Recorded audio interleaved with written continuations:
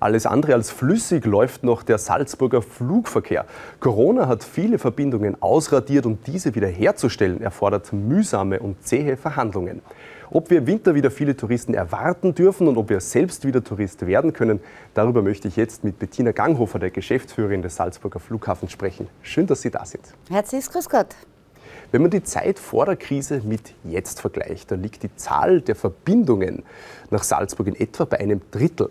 Wenn man dann noch beachtet, dass äh, man 40 Prozent des Jahresumsatzes allein im ersten Quartal eines, eines, Jahres macht, dann sieht man auch, wie wichtig der Wintertourismus ist. Äh, wie gelingt es Ihnen, die, wichtigen, die wichtige Zahl der Verbindungen noch weiter zu erhöhen? Wir haben hier zwei Herausforderungen. Das einmal ist das, äh, die Destinationsvielfalt. Mhm. Das ist uns in diesem Sommer sehr, sehr gut gelungen. Wir haben schöne, interessante Destinationen dazu gewonnen. Von einem Lübeck über ein Amsterdam, ein Riyadh, ein Dubai. Also wirklich spannend äh, zu dem herkömmlichen äh, Verkehren nach Deutschland und so weiter oder in die Türkei. Was uns aber fehlt, ist die Häufigkeit der Verbindungen. Also wenn man nur einmal oder zweimal am Tag nach Frankfurt fliegt, wo man vorher viermal hingeflogen ist, wenn man nur fünfmal in der Woche zum Beispiel nach Düsseldorf fliegt, was man vorher dreimal am Tag hat, dann kann die Häufigkeit noch nicht passieren. Wir sind schon mal froh, dass uns das gelungen ist und wir sind auch momentan noch optimistisch, äh, was den Winter angeht. Äh, die Anmeldungen äh, sehen vielversprechend aus, wenn das alles so käme ohne weitere Reisebeschränkungen halten wir 80 Prozent von 2019 und das wäre der Clou. Mhm. Jetzt haben Sie die Einreisebestimmungen, jetzt haben Sie die Einreisebestimmungen schon angesprochen. Jetzt schaut es aus, dass man nach 21 Monaten das Tal der Tränen dann durchschreitet und die, das Personal jetzt im Dezember wieder aus der Kurzarbeit herausholt. Äh, spielen Einreisebestimmungen der anderen Länder da auch eine Rolle? Weil ich nehme mal an, das ist schon wichtig, ob zum Beispiel Großbritannien sagt, naja, äh, Salzburg darf man anfliegen die Reisebestimmungen, ob Reisebeschränkungen, Reiseverbote oder was es auch immer geben wird, spielten jetzt in der Entscheidung zur Beendigung der Kurzarbeit keine Rolle. Wir haben einfach gesagt, wir gehen davon aus, dass es einen Winter gibt. Wir wissen nicht, wie intensiv er sein wird. Aber wir dürfen nicht vergessen, nach 20 Monaten Kurzarbeit müssen wir auch wieder lernen, diesen Flughafen richtig zu bespielen. Und dafür brauchen wir den Dezember. Weil stellen wir uns vor, die kämen alle so wie derzeit angemeldet, kann ich denen ja nicht auf einmal sagen, bitte fliegt wieder zurück. Wir wissen leider nicht mehr, wie es geht oder uns stehen nicht genügend Hände zur Verfügung. Das wäre der Wahnsinn. Wie schaut es eigentlich mit dem Salzburger Winterflüchtling aus?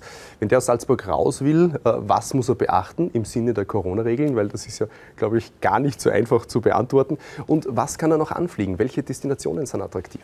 Wir haben sehr schöne äh, Destinationen im Winter. Wir haben natürlich äh, für den Städtetourismus äh, alles, was in Deutschland liegt. Wir haben die Türkei, wir haben Amsterdam und im sonnigen Bereich neben dem Dubai, was ich vorhin auch schon erwähnt habe, die Kanaren stehen auf dem Programm mit Gran Canaria und Teneriffa und wir haben natürlich Ägypten mit Hurghada. Was die Reisebestimmung angeht, ähm, da bin ich kein Orakel. Äh, das muss man wirklich kurzfristig vor der Reise immer wieder überprüfen. Entweder macht das das Reisebüro für einen oder man schaut auf die Seiten des Außenministeriums, weil die ändern sich zu schnell, als ich dazu eine Aussage treffen könnte.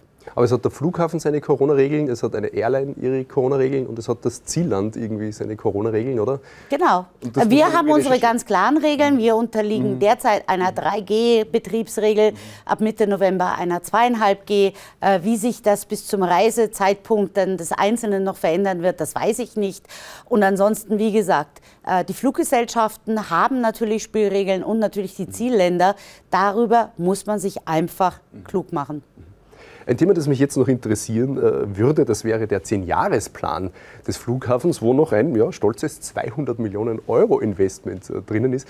Und ich glaube, wenn es nach Ihnen gehen würde, würden Sie viel dieses Geldes in eine neue Terminallandschaft investieren.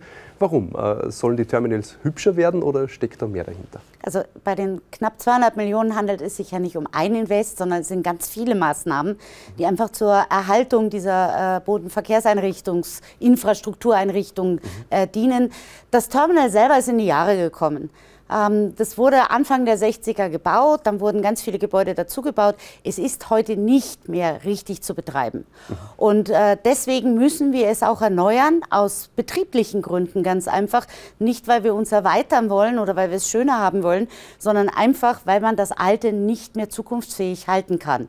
Und äh, wir brennen darauf, weil ohne Terminal kein Flughafen. Und deswegen ist es eines der ganz zentralen Investitionen, die wir hier vorhaben.